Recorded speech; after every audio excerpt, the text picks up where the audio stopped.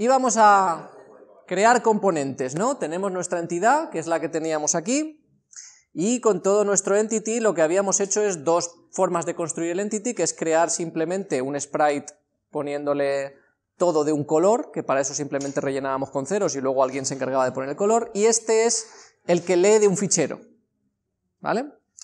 Y nuestra entity tiene, que es lo que tenemos abajo del todo, estos datos.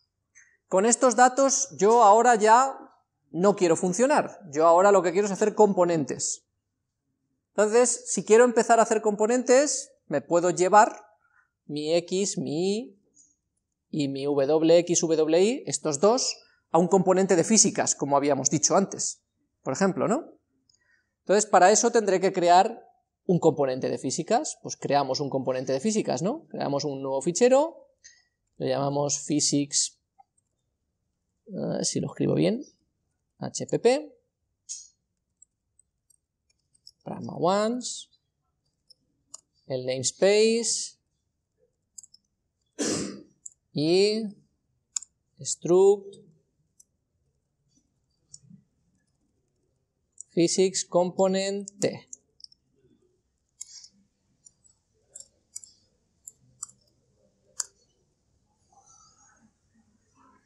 Y ya casi está. Ya está, un physics component. Solo me queda hacer un detallito.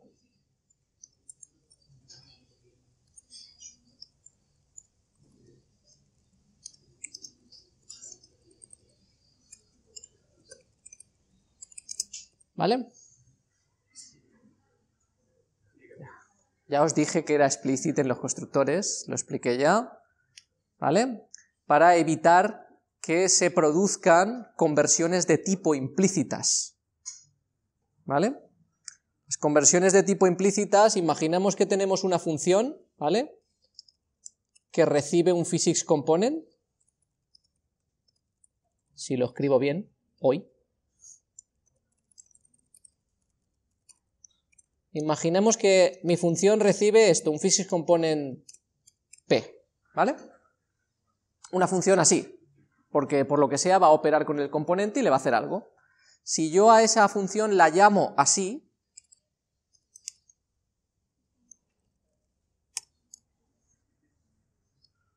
eso es una lista inicializador vacía.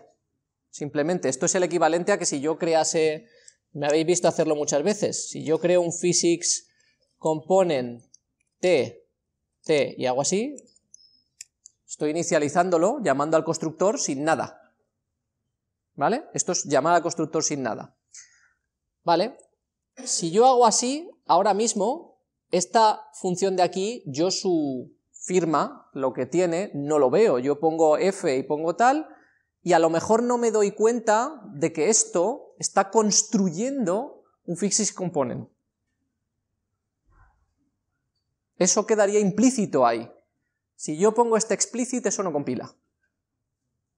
Porque eso de ahí diría, oye, estás construyendo implícitamente un physics component, construyelo explícitamente. Pon tú que quieres crear un physics component. ¿Vale? Lo mismo pasa si mi physics component, imaginaos que recibiera un parámetro, int a, ¿vale? Si mi physics component recibiera un parámetro int a, yo para construir esto le tendría que dar un 5, un lo que sea, entonces yo podría hacer cosas como esta.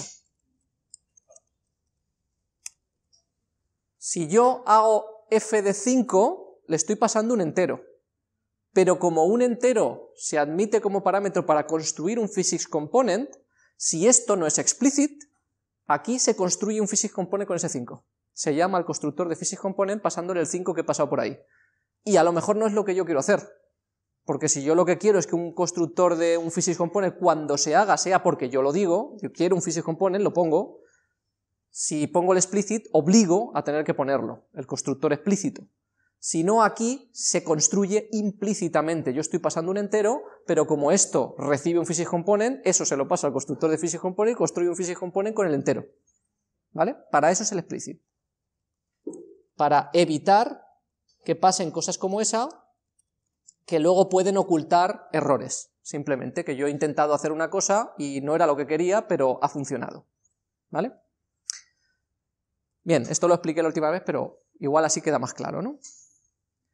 Ya tenemos un physics component, ya está, no hace falta hacer más nada. Ahora eso sí, ahora tenemos que reconstruir las cosas para que usen nuestro physics component, ¿vale? Entonces, ahora nuestra entidad, de momento, como estamos haciendo cambios, lo que vamos a hacer es la entidad que ya no tenga esto y que tenga un physics component.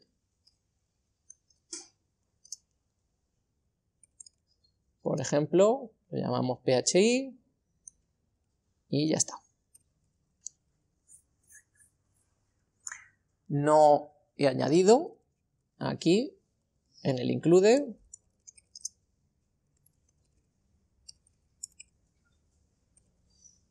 physics que no me lo está autocompletando, ahora sí. ¿Vale? Entonces ahora mi entidad tiene los mismos campos que antes, pero los he sacado a un struct. De momento esto casi va a funcionar igual, no va a funcionar igual porque ahora tengo que poner PHI delante para poder acceder a esos campos, con lo cual ahora cuando compile todo lo que accedía a esos campos ya no, ¿vale? Ya no va a funcionar. Pero ahora lo tengo separado. Entonces ahora ese physics component, de hecho es más, yo aquí no lo querría tener así. ¿Por qué no lo quiero tener así?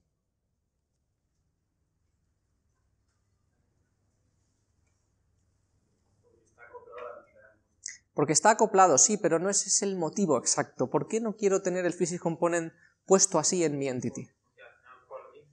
Porque al final estoy definiendo ahí, ¿vale? Esta declaración va a hacer que cuando yo cree un entity se definan ahí los mismos bytes que yo he metido en PHI.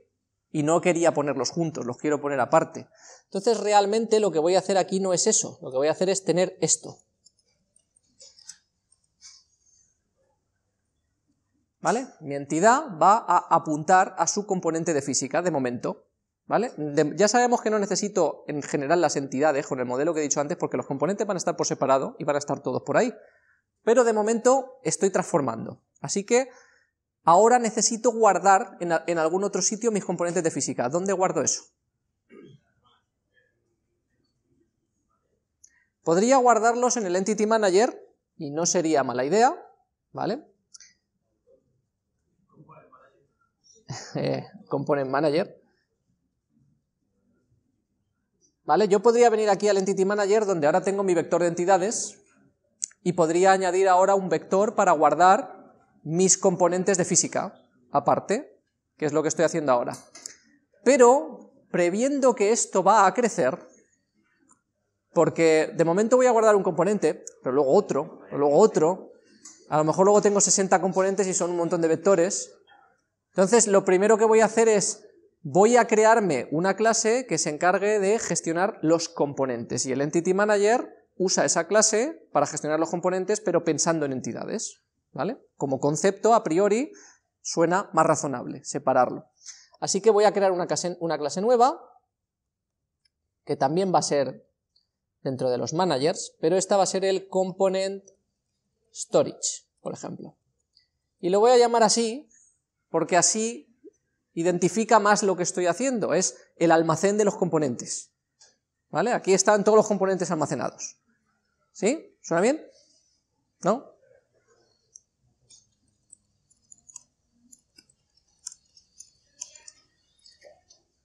Space,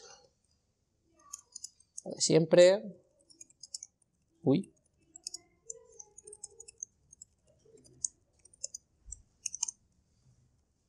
¿Vale? Voy a hacerme un par de preguntas respecto a mi componente storage, ¿vale? Porque ahora mismo mi componente storage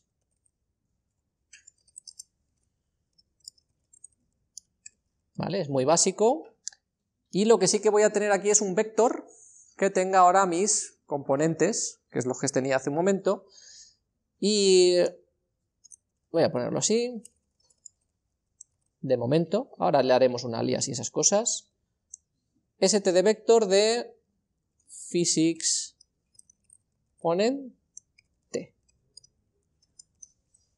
Quitar esto, que me moleste.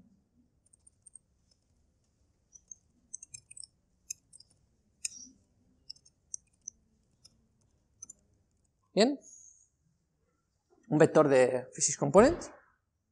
Como esto es un almacén, mejor que se acceda a él a través de una interfaz, ¿vale? Esto lo voy a hacer privado. Para que no acceda a la gente directamente, sino que si yo quiero que alguien acceda a ello como constante, lo pida, se le vuelve constante, y si va a modificarlo, pues que lo pida también modificable, se le da modificable como ya hemos aprendido a hacer con nuestras funciones que son const y no son const. Vale, tendré que incluir vector para que esto compile. Y eh, nuestro componente, claro. Componente de física. Pero ahora me tengo que empezar a hacer preguntas sobre mi almacén de componentes. Mi almacén de componentes ¿Tendría sentido que yo crease una copia del almacén de componentes? ¿Va a ser algo natural el decir, voy a crear un almacén de componentes y luego le hago una copia?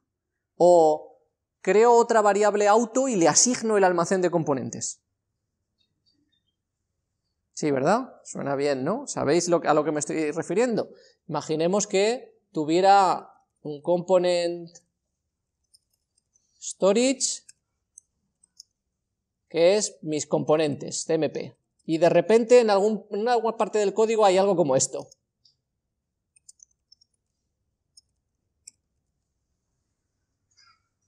¿Sabéis eso lo que estaría haciendo?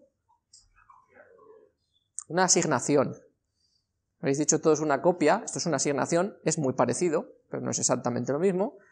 Aunque realmente cuando lo estoy haciendo aquí, tengo que decir que tenéis razón, porque como lo estoy haciendo en la propia definición de P, esto en realidad es una llamada al constructor, es constructor de copia.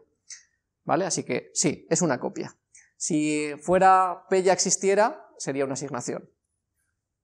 Bien, eso puede ser muy problemático porque yo aquí estoy almacenando todos los componentes. Entonces, eso de ahí puede ser una copia de todos los componentes.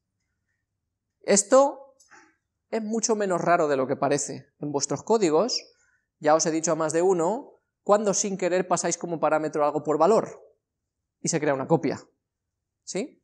Imaginemos que yo paso el comp, este de aquí, por ejemplo, a una función f y hago, llamo a f de comp. Y resulta que cuando he definido la función f, la he definido así.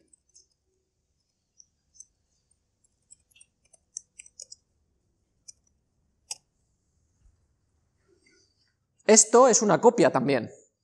Yo cuando llamo aquí, esto es una variable local a la función f que tiene que crear una copia del componente storage entero. Esto, si yo lo hago, compila y funciona, pero yo no quiero que suceda. Yo quiero que estas cosas no pasen. Quiero que el compilador me diga, no hagas eso porque es costoso, no lo hagas, no se puede hacer. ¿Sí? Y todos estáis pensando, ya, pero tú nos has dicho que no, uses, no usemos singletons, ¿verdad? Es lo que seguro que está pasando por vuestras cabezas. Y sigo diciendo que no uséis singletons. Lo que estamos hablando aquí es de que no se produzca una copia. Que, ojo, en muchos de vuestros casos, las definiciones de singletons que hacéis permiten la construcción de copia. Ojo. Eso lo dejo aparte. ¿Vale? ¿Cómo puedo decirle yo oye, cuando alguien intente pasar por parámetro esto para que se haga una copia, hacer una asignación o hacer una construcción de copia, no compiles. ¿Cómo lo hago? Sobrecargar el operador asignación. ¿Cómo? Operator igual, a ver, ¿dices? A ti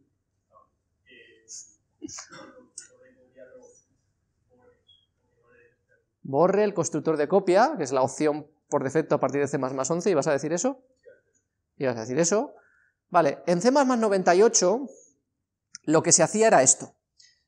Yo me vengo aquí y digo, constructor de copia. Claro, puedo definir el constructor de copia, que se define así, pero lo defino aquí, privado. Al ser privado, cuando cualquiera de fuera intente usarlo, le iba a dar un error, porque es privado, no puede llamar desde fuera al constructor de copia. Y lo mismo puedo hacer con el, operador de asignación y lo mismo con el constructor de move y con el operador de asignación de move. ¿vale? De revalues. En C++ 2011 y siguientes, en vez de hacer esto, se hace esto, que es más explícito y más claro. ¿Vale?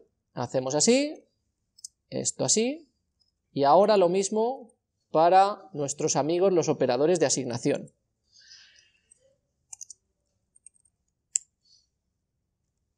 ¿Vale?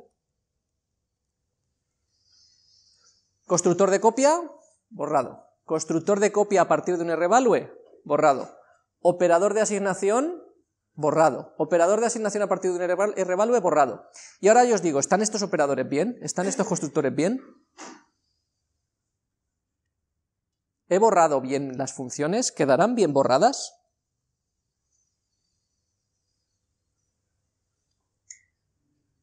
Si yo hago esto, ¿funcionará?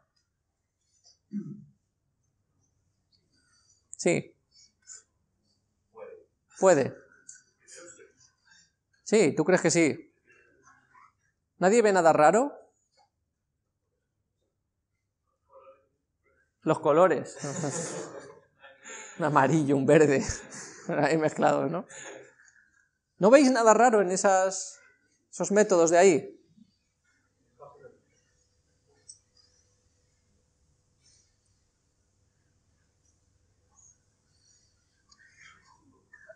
Os lo voy a decir.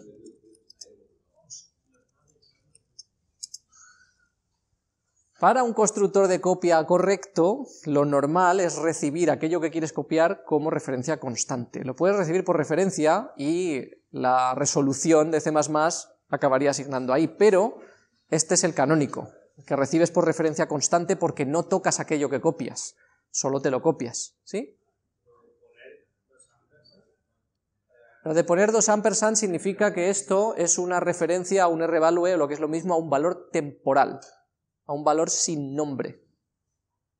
¿Vale? Esto lo he explicado en vídeos anteriores, pero no me puedo alargar ya mucho más hoy, que echarle un vistazo a la clase del año pasado de revalues. ¿Vale? Con esto nos cargamos estos cuatro métodos, y eso significa que cuando alguien intente usarla nos saldrá el famoso mensaje que ya hemos visto antes de se intenta usar la función borrada, que eso en castellano suena raro, ¿vale?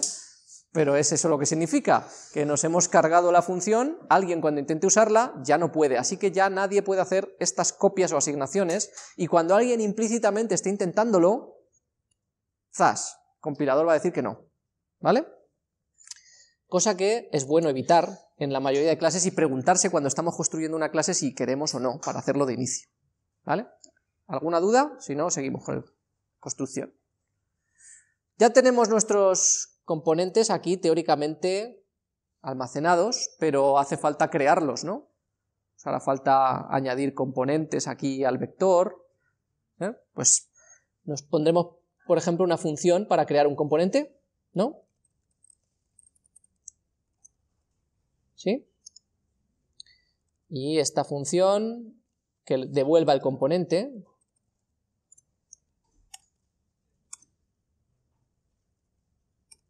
¿vale?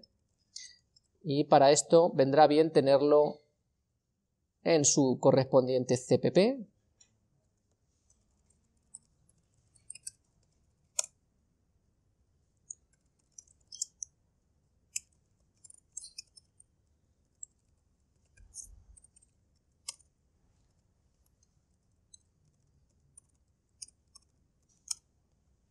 Y esto es un componente storage.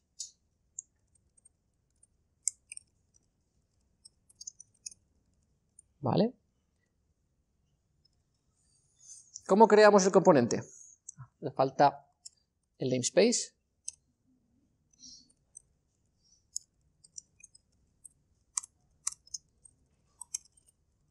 A ver, ¿qué hago para crear el componente? Y devolverlo.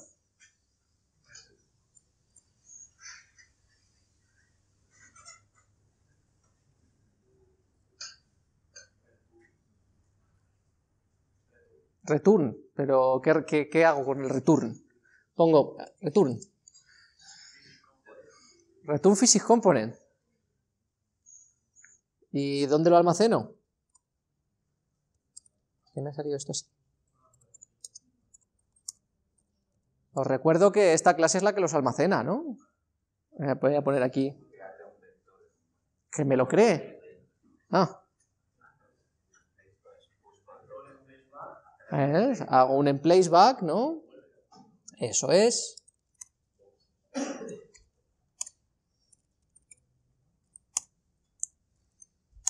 Tiene constructor por defecto, ¿no? Sí, pues vamos.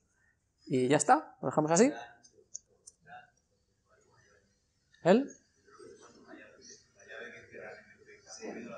Ah, he puesto la del namespace. Vale. Vale. Vamos a hacer así. Pues que lo queremos más mono.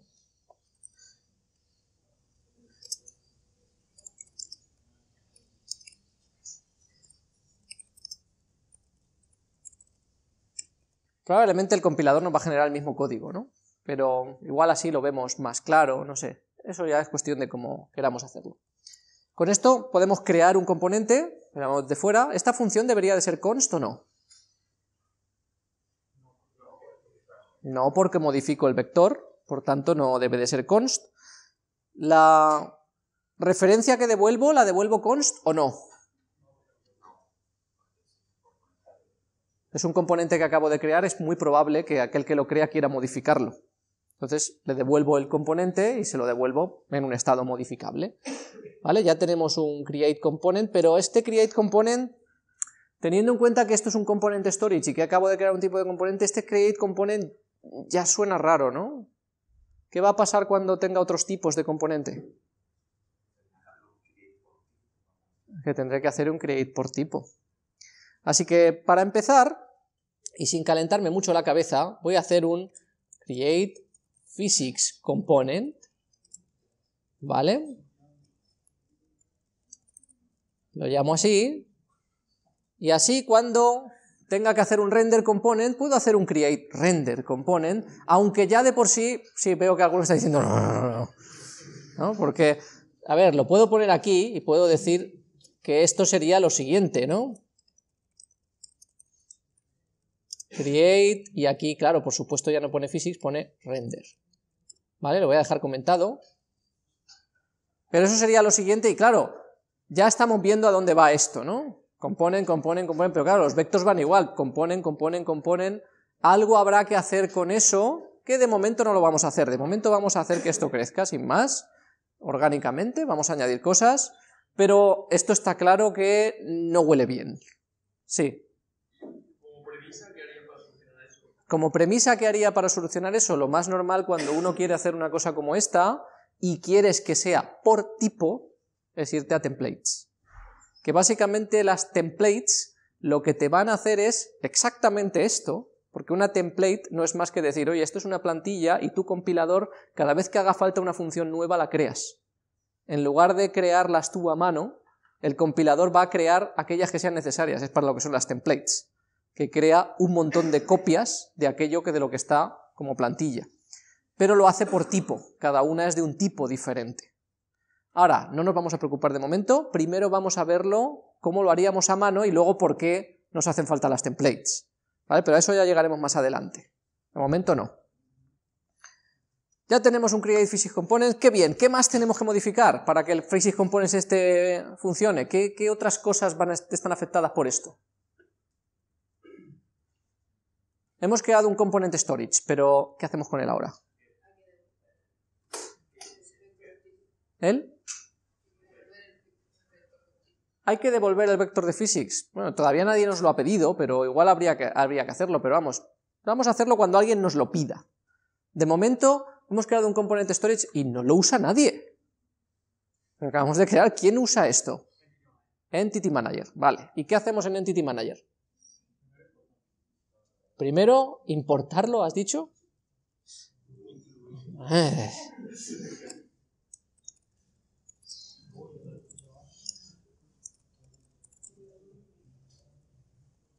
Vale, esto, ¿dónde lo hemos visto en Managers, claro.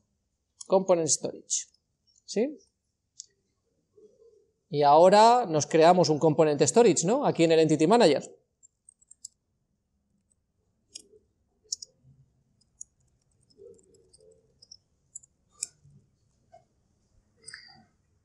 Creo los componentes, es un almacén de componentes y lo tiene el Entity Manager. El Entity Manager tiene el almacén de componentes. Ya está. Bien. Pregunta.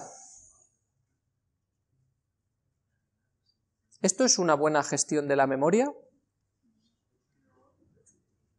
No me refiero por el orden, que es para lo que estamos haciendo, sino ¿qué problema hay ahora mismo si yo empiezo a definirlo así y empiezo a añadir componentes? que se copian. ¿Podría ser un poco más explícito?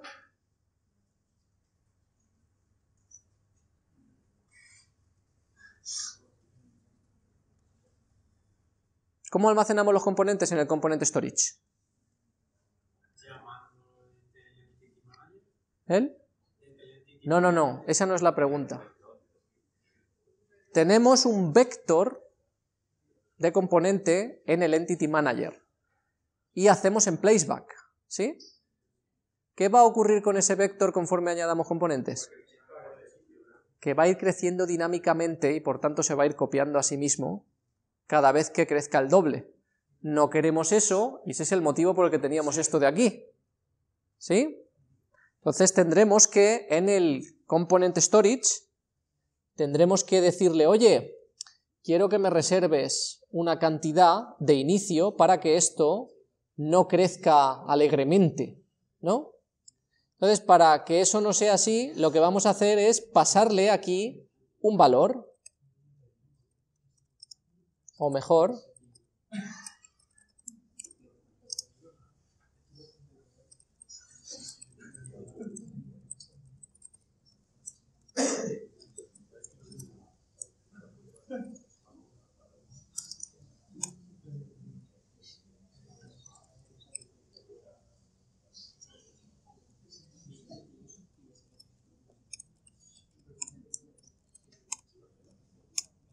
¿Sí? Dime. ¿Por qué es mejor SizeT que int32? No es mejor. Es más estándar. SizeT es precisamente lo que devuelve un vector cuando preguntas por size. Te devuelve un SizeT. Ese es su tipo. Es un tipo estándar para medir tamaños. Internamente, muy probablemente esté asociado a un entero sin signo del tamaño de la máquina, que probablemente sea de 64, de 32 bits, dependiendo del compilador. ¿Vale? Pero si tú usas SizeT, cuando compiles esto en una máquina o en otra, el SizeT se adapta a la máquina. ¿Vale? Entonces, como esto de aquí es un vector y eso es lo que vamos a meter con el size, le paso SizeT. ¿Vale? Que a, veces puedo poner una cosa u otra y no darme cuenta, pero vamos, lo apropiado es SizeT porque ese es el tipo concreto que usa el vector, pero nada más. No, no iba a pasar nada malo porque pasases un Win32. Bueno, nada malo aquí. Si lo metes en una máquina donde SizeT sea de 16 bits y pasas un Win32, puede que le metas un tamaño más grande de lo que puede admitir y cosas de ese estilo. ¿Vale? Pero bueno, es poco probable. ¿Queda claro lo que hemos hecho? Vale, ahora el problema es que esto es el constructor por defecto y yo hago una pregunta. Tal como está esto definido ahora, ¿qué pasaría si alguien hace lo que nosotros hemos dicho antes, que es por ejemplo esto? A la hora de crear un component storage, creamos el component y ponemos esto.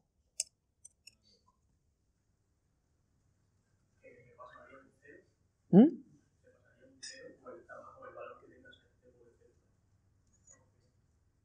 Me pasaría un cero. No, es una lista sin nada. Sí, entre otras cosas eso no compila porque está fuera de cualquier cosa. Es una instrucción fuera de la nada. Vamos a probarlo. Lo voy a poner en su sitio. Que es en el Entity Manager. ¿Vale? Entity Manager, Components y... Ahora mismo esto no se queja. Y no le estoy diciendo el tamaño, ¿verdad? Vale, ¿y ahora? A lo mejor se queja. Se queja. ¿Qué dice?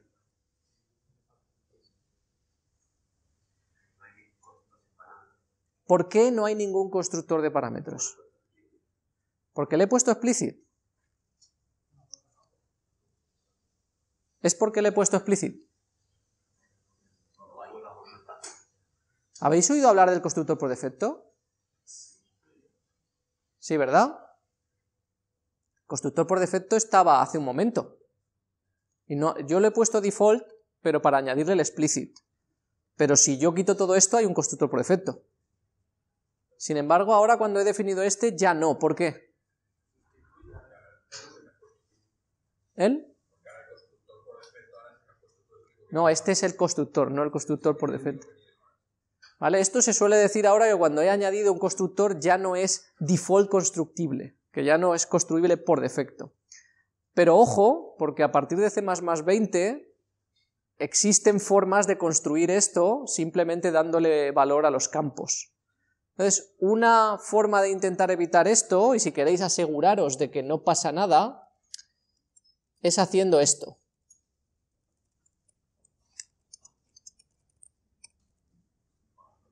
¿Vale?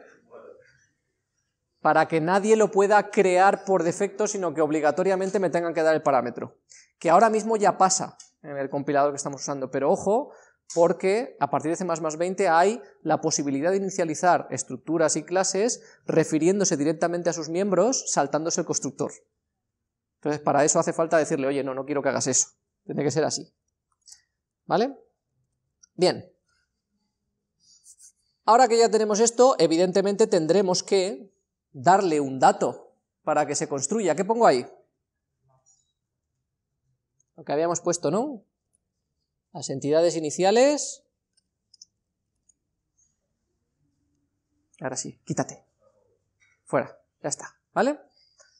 Entonces ahora ya tenemos componentes y ya nos aseguramos de que nuestro constructor cuando creemos el almacén de componentes lo va a hacer reservando y ojo, reservando, que no haciendo resize, hemos visto al principio, ¿verdad? Que hacer resize y reserve no es lo mismo, no queremos crear de inicio un montón de componentes, sino reservar el espacio.